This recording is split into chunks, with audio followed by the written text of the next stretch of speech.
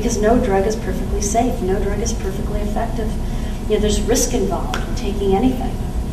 It could be an allergic reaction, whatever. So we have to realize also that there is no way that the government can protect us. And when we ask the government to protect us, it usually backfires because they can't account for the individual situation, like the AIDS patients or the cancer patients that sued for drugs or for the women who need folic acid. They just cannot, it's not part of the of their ability. It's a one size fits all arrangement. And we're all different genetically. Our choices are different. Now, uh, I always use the definition for liberty. Liberty is the exercise of freedom, but does not impinge upon the rights of others. Mm-hmm. Uh, and you know, a lot of people want to help other people. You know, I look at help and I say, is help feeding people for a day? Is help clothing people? Or is help really getting that person to be able to do that for themselves? Mm-hmm. Uh, is life really about getting freebies from the government?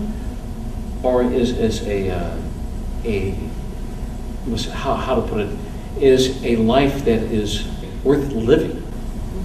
Is, is that the life where you learn how to do it for yourself and then you pass it on to your children and your children's children? I mean, is, is that a life worth living?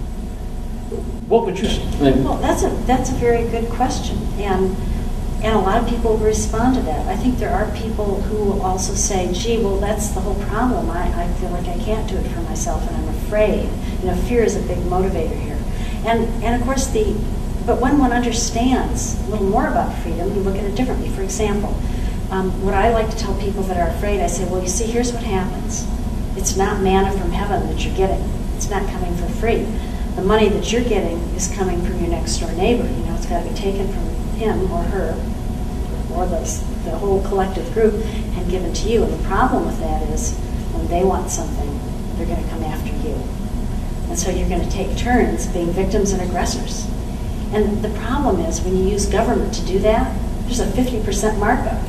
In other words, the government will take $2 from them, but you'll only get $1. When they come to you, they're going to take $2 from you, and they're only going to give 1 to them. So you all lose.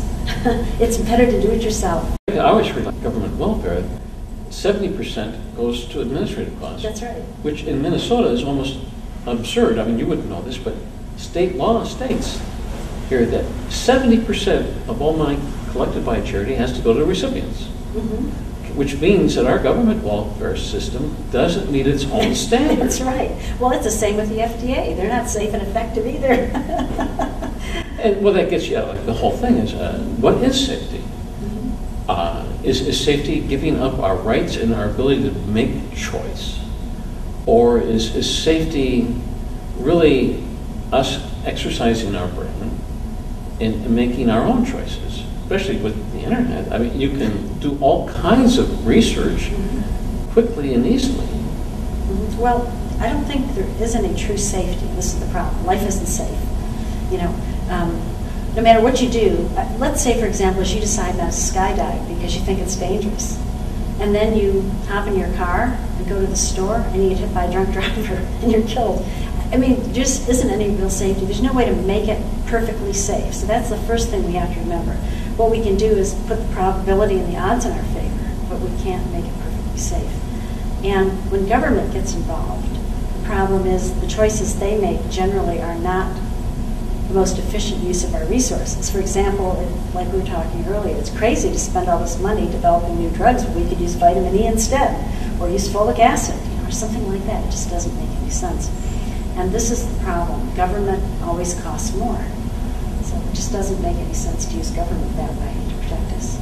government officials, like, like you're saying, that uh, if there's an extremely tiny, tiny uh, chance that somebody might die from something, they're not going to approve it. Even though by not approving it, there's a much greater chance that people will die. I'm just thinking of uh, one of the things that happened under Carter was we got the 50 mile an hour speed limit. Oh, yes. On, you know, where we couldn't go more than 55 miles an hour. Well, I was in safety with an insurance company, and we were getting approximately 55,000 deaths every year from motor vehicle accidents. By dropping it down to 55 miles an hour on the freeway, it was estimated that would save 5,000 lives. Okay, all right, but 50,000 is okay, but 55,000 isn't. Doesn't make any sense. Now, if you drop it down to zero, then you have no accidents uh, involving cars. But of course, people still need to get around, and, and people used to be trampled to death by horses, run over by carts and, and chariots. Uh, and I would bet that many more thousands of people died in a horse buggy environment even though sometimes it was kind of convenient that the horse knew the way home. yes. Well, actually, you're right. I think I, I saw a study where they actually measured the impact of the speed limits. What happened is more people died, and the reason was is that when people were going at a faster speed, they were um, not in the car as long. But when they were at the slow speed, they would add an hour or so to the trip, and what that did is it made them more tired and fatigued, and that's when accidents happened. And there were more accidents actually because of the speed limit change. That's what I've heard. So Well, no, it makes perfect sense to me. yeah, so anyhow, it just, I guess what we're concluding, and I guess we do need to conclude because I know we're getting, you know, towards the end of the session, but I guess what we're concluding here is government's not the best way to try to protect ourselves and, and relying on the market and its mechanisms may work better for us. And it's more compassionate. Yes. It gives people choice. I mean, I, I could, I just can't believe our government said to cancer, dying cancer patients, you can't try something to save your lives. I mean, that's cruel. So 16 million people versus 7,000. Uh, To me, I go for the 7,000. Exactly, exactly. uh, especially with the, the war on, well, a whole other topic, but the war on drugs. That's Hardly the other war on drugs. anybody ever dies from an overdose in the, uh, with illegal drugs. They're more likely to die from legal drugs. Well, that's of course because we take so many, and we, that's another thing. With, with all this protection, you would think that there would be some, some thought given to mixing all these drugs. But, you know, some people are taking 20, 30 different drugs a day. I mean, it's crazy. They're never meant to be used that way. I think if your listeners take anything away from this, they should realize that, you know, as I said earlier, there is no drug that's perfectly safe or perfectly effective, and we always need to use them judiciously. And this is from somebody who was in drug discovery for a living. You know, we have to be careful. Right. Uh, my understanding is most drugs, how to put it, uh, in different parts of the body do different things. That's right, that's right. And of course, we, if we use natural substances like the vitamins, we'd be better off, fewer side effects. But our government has actually made it very difficult to know about these and to use them. Well, I thank you, Mary, for, for being on a Libertarian Viewpoint. And, and uh, no, I think uh, this kind of message is very important to people.